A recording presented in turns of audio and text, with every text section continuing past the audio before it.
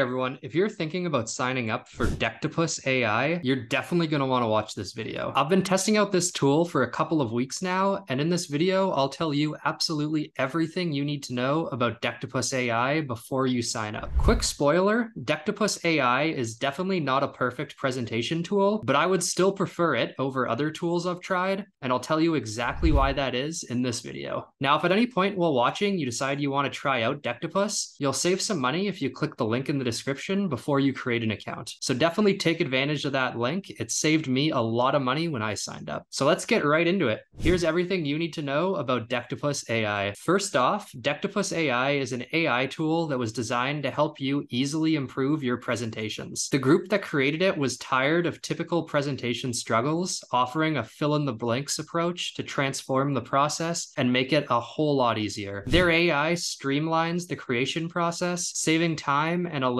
stress. It handles the heavy lifting while you can focus on delivering your message without struggling with any formatting or other issues. As the owner of a digital marketing company, I have countless presentations to make, proposals to draft, and designs to create. With Decktopus, I just fill in the blanks with my content and it's ready to go. I was able to easily add in stuff like my brand logo, colors, font, and connect my own domain to the document. But I have to be honest, the one thing that almost stopped me from using Decktopus AI was the price. I won't lie, it's a bit on the higher side, but click that link below and you will definitely get a significant discount. While the price is a consideration, I ultimately found the tool to be worth it for my business. It helped me deliver better structured presentations and get all the information across. And unless you have a very laid back job, time is money. So a tool that saves you time is always worth it. Do me a favor, if you made it this far, please drop a like on the video. It really helps out the channel. And if you have any questions, just leave a comment down below below and I'll answer every single one of them.